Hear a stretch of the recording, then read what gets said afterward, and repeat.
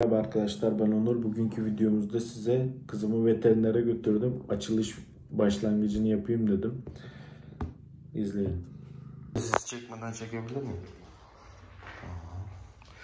Latte. Zaten yok demişlerdi bize. Dört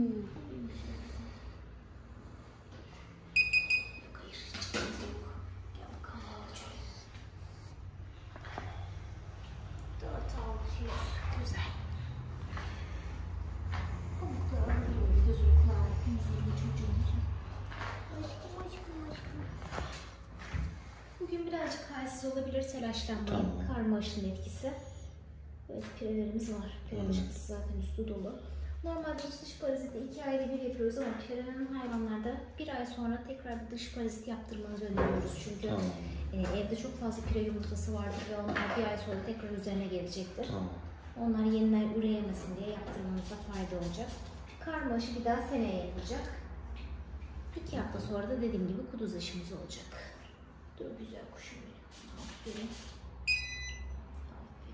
Şimdi yavruları da gitti can sıkılıyordur herhalde. Evet. Onlar, onları dövüyordu rahatlıyor. O benim güzel çocuğum. Bugün öpmeyeceğiz. tamam. Ee, 4600. Onun haricinde bir de bir hafta yıkamıyoruz asla pirelerden falan Tamam. kullanıp yıkamayın. Çünkü damla süreceğiz. Vücuda yayılmaması Bir hafta lazım. sonra yıkayabilirim değil mi? Ya normalde zaten kediyi yıkamanızı önermiyoruz ama çok yıkamak istiyorsanız bir hafta sonra yıkayın. Ya şimdi e, doğumdan sonra aşırı tüy dökmeye başladı. Özellikle son bir aydır. Normalde dökmüyordu. Ya ondan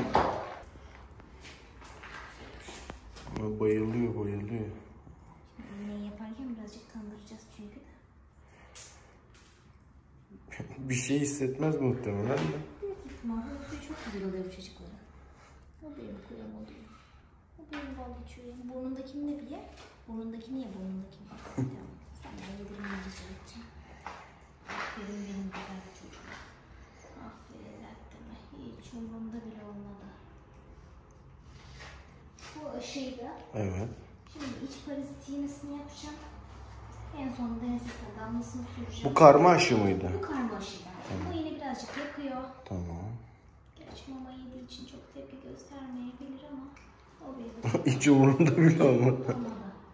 Bugün dediğim gibi kafaya dokunmuyoruz, öpmüyoruz. Damlayı da aklınızda olsun. Biraz daha şöyle yukarıdan yaparsanız daha Tamam. sağlıklı olur. Damlada mı tepki veriyorsun? Aynen Damla'yı sevmiyor. Başka bir isteğiniz var mıydı?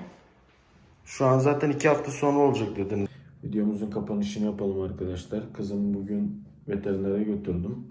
Ee, yıllık karma aşısı oldu.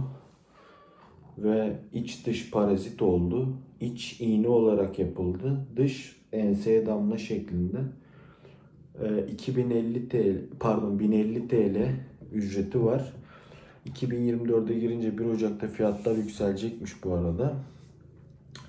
Üst üste diğer aşıları da yapmıyorlarmış sıkıntı olduğu için. Yani en az diyor bir ay sonra, iki hafta sonra, bir ay sonra gelin dedi. Ee, programa üye yaptılar işte oradan abi yapılan aşılarını hatta o gelecek olan aşıların hatırlatmasını falan e, bir uygulama verdiler. O uygulamadan bildirim gelecekmiş. Sonra e, bu sene sonuna doğru değişiklikler olmuş arkadaşlar. E, çip olayları falan artık tarım bölge müdürlüğü falan bakıyormuş herhalde bir şeyler dediler ama yani artık daha ciddileşmiş burada veteriner olayları da Avrupa standartlarında bazı uygulamalar başlamış.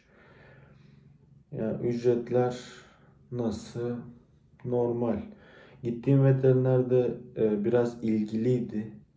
E, yani kızımın kulaklarını temizledi pamukla. Tırnaklarını kesti. Ücret almadan.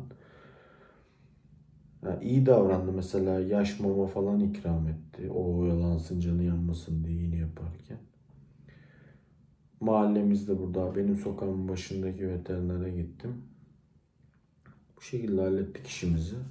Böyle bilgilendirici bir video olsun istedim arkadaşlar. Yani e, güncel fiyatlar olarak hani bilgilendirici bir video olmayacak çünkü yeni seneye giriyoruz her şey değişecek ama öyle bir fikir vermesi amacıyla izlediğiniz için teşekkürler. Hoşçakalın.